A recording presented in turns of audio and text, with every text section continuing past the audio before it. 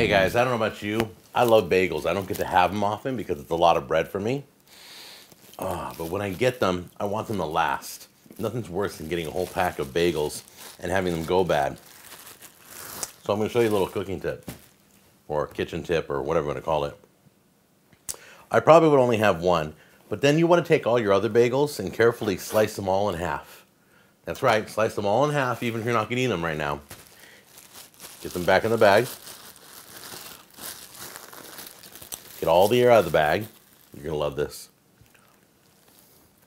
Put the clip on like I do, or you can do a twisty. Pop it in the freezer. Now this is the best part, ready? Now when you finally come around, you haven't lost your bagels, they haven't gone bad because you froze them, right? Now, the cool part is, they're frozen. They can go straight from frozen in the bag to the toaster because they're cut in half. Just drop them in. You can save the other half for later. That's your tip for the day. Enjoy. I'll see you on the next episode. Take care.